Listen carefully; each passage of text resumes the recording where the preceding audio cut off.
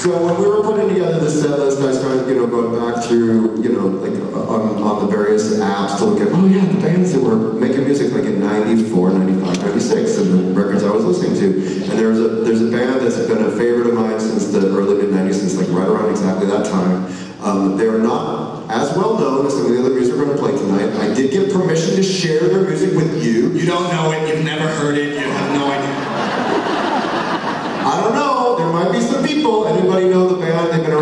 30 plus years Superchunk?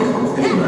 Yes! See, Adam, come on! So anyways, um, they've been a huge influence on me and I wanted to sing one of their songs for you.